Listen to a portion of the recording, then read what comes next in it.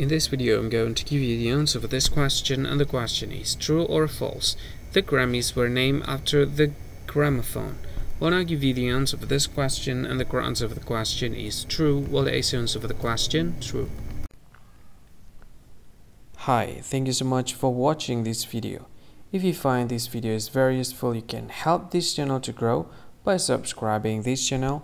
Please this subscribe button and don't forget to like this video.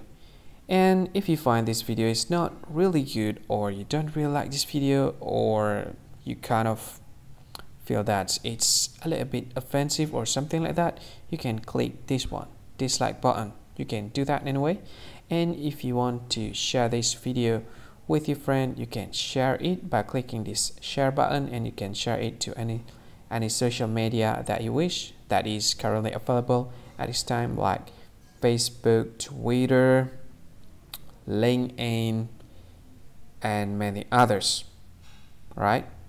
And if you want to add this video to your playlist, you can click this one. You can watch this video later and you can find more options by clicking these three dots. And yeah, don't forget to subscribe. I think that's all of it. Thank you so much for watching this video and see you again in another video. Bye bye.